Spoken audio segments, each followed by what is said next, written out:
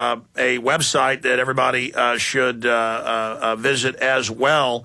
And we'll get that posted up on the story he sent us. He sent us some amazing photos. Uh, and it's infocon.ro, just I-N-F-O-C-O-N dot R-O. Does a lot of amazing investigative uh, research uh, and reports, and he does speak pretty good English. So we're going to go to him in about four minutes, and I appreciate Paul Dornanu from Bilderberg 2010. We're getting Guardian reporters on. We're getting American Free Press reporters on. We're getting independent reporters from Romania on, these info warriors. And his photos are up on Infowars.com and PrisonPlanet.com. They just went up on Prison Planet minutes ago. They may not be up on, on Infowars yet. But I briefly wanted to go to Ted Anderson because you got gold up seven plus dollars today. Last time I checked. In fact, let me just look it up. Uh, you've got uh, gold uh, way up. You've got gold running out in Europe. Um, a lot of it running out in the U.S. And it's the weekend. And Ted told me yesterday, he said, I'm about to run out of the francs that are priced in a market that's almost $100 lower than it is, a fifth of an ounce for $256 a piece. He's almost out of these. He's got a few other coins at the old super low price that nobody can match, literally. Uh, and uh, then it, will go up, and it's still a great deal. Uh, so I wanted to bring Ted up briefly on the economy, the stock market plunging over 300 points today, and just to tell people the brokers will be there to take your order this weekend. And, you know, they got a lot of other great deals as well, and collector, uh, collector coins and everything else. But specifically, these bullion deals I certify are the best deals I've ever heard of. The Francs and a few others he's about to offer. The silver half dollars at $9 and something a piece. These are really smoking hot deals. Ted Anderson, thanks for coming on with us. Briefly, tell people about today's coin offers. Yeah, sure. Well, right now the Franc is currently at 256.68, which are just like you said, I'm holding that price down British sovereigns have sold out because people in Europe are so excited about buying gold with everything falling apart around them that they've just simply bought out what's available in the marketplace. And the francs are a European coin too, so obviously that's going to be falling under the same pressure. Uh, right now, the franc is the best buy at 956.68. But we do also have the U.S. Eagle and many other things. If you're into the silver, there's no question about it. Those walking Liberty halves, even if you go to the internet right now, you'll find that they're over $10 a piece. And right now I have them at 975 So that's really a great buy. Um, just, you know, the junk silver, the, the, the, you know, the clean rounds, we call them, all that stuff is a good buy right now, Alex everybody is becoming so familiar and so aware of the fact that the central banks are bailing out the countries. That you know, they talk about one country bailing out another. Everybody's in trouble. Nobody's got a surplus of money. But Ted, so, you call it a good deal. No one that I've seen has silver half dollars at the price. I mean, I mean, we're not just saying this. Look it up, folks. No one has francs at 200 and uh, you know $56 a piece that I've seen. You bought a bunch of this. You're now about to run out. You bought this stuff at almost $100 you know, lower in the market. And so any amount of tiny markup you had when you bought it then is well gone now in the swings in the market. I mean, these are really exceptional deals. If people are going to get into gold and silver, they need to take advantage of this because, uh, I mean, are your supplies of those silver half dollars and francs, are they going to last past Sunday? Well, the silver dollars are real tight. The francs, I mean, I might, I might not even be able to sell a franc after last Sunday or this Sunday coming up. I will hold it at this point at this dollar amount. But with gold going up over eleven dollars today, I mean we're we're talking about francs that were priced way back at one thousand one hundred and fifty. So I no, I don't think so. Oh yeah, it was it was seven dollars a few minutes ago. I'm sorry, it's up by ten fifty right now. Yeah, and of course, that's has, in the U.S. market. It's even all-time records in Europe. Right, and the market is very strong. And and you know, if you're sitting there with investments in other places and you're thinking, man, you know, what should I do here? I just need to tell you. I mean, the United States government right now, I mean, people usually go to the treasury, the treasury bills for safety and security, but the government is printing so much money that the treasury bills aren't going to even hold value. And, and the sad part about it is, is that we can't afford to pay our bills as the government is concerned at the interest rates are at practically at zero. What do you think is going to happen when we have inflation and interest rates go from, you know, a half a point to say 3%.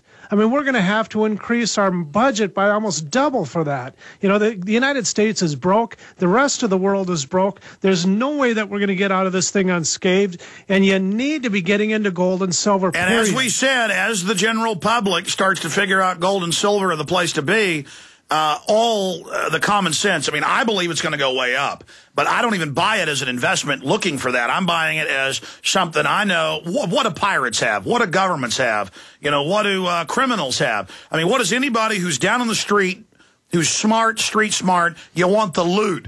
You want the loot, ladies and gentlemen. You want the booty. You want you don't want a bunch of paper with old dead white guys on it. You want to have the gold and silver. Here's the number, 800 686 2237. 800 686 2237. And the brokers are going to be there till late tonight to take your calls. If, if you call and they're not there, leave your name and number. They'll call you back in the morning.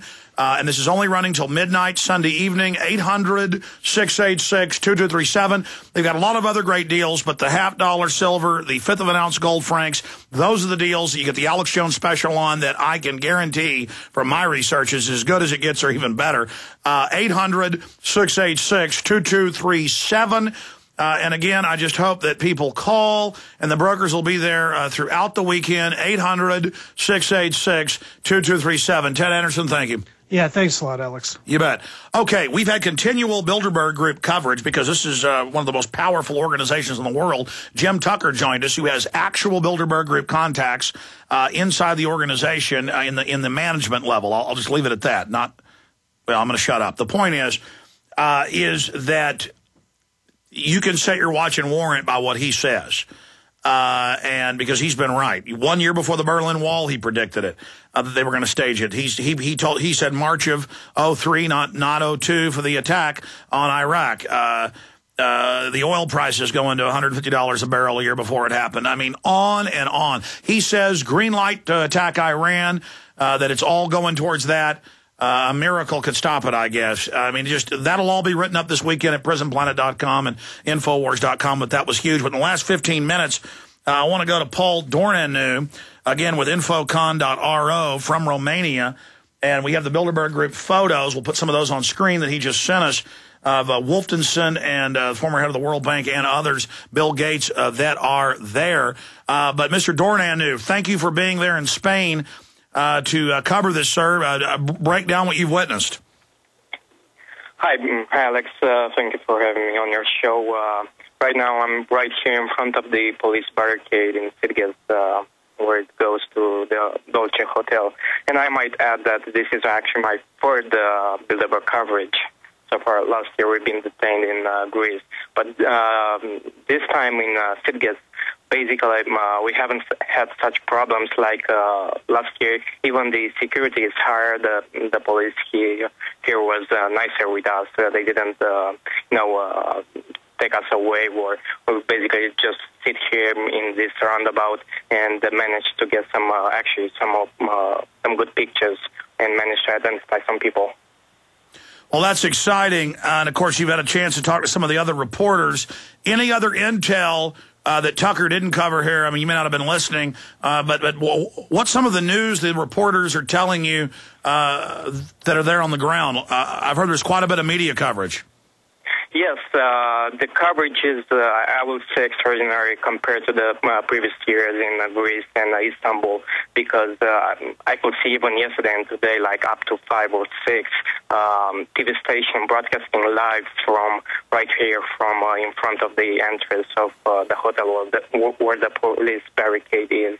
So basically, I'm uh, uh, very, very surprised uh, to see that happening. And not only that, I can see lots of people coming from other countries like Portugal, France, uh, UK, Belgium, Czech Republic, United States, lots and lots of people, independent media or uh, just regular people coming here and offering their support, coming with the cameras, video cameras, and trying to help in a way or another. And I even met uh, yesterday and today and had an interview with Estulin, Daniel Estulin, and actually another reporter, uh, documentary maker who has some very, very good information. And he was in uh, back in Italy in 2004. Uh, if you remember, they, uh, they were able to make there some very good photos he also got some very good video pictures with them sitting at tables talking to people and uh, going on the boat, on a trip boat.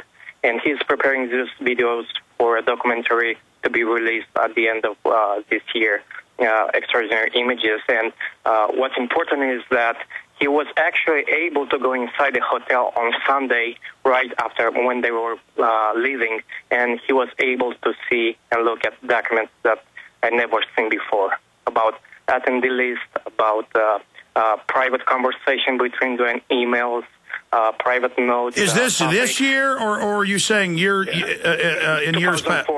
This was from 2004. But Okay, this so this documentary filmmaker, uh, uh, Yeah. where are they from?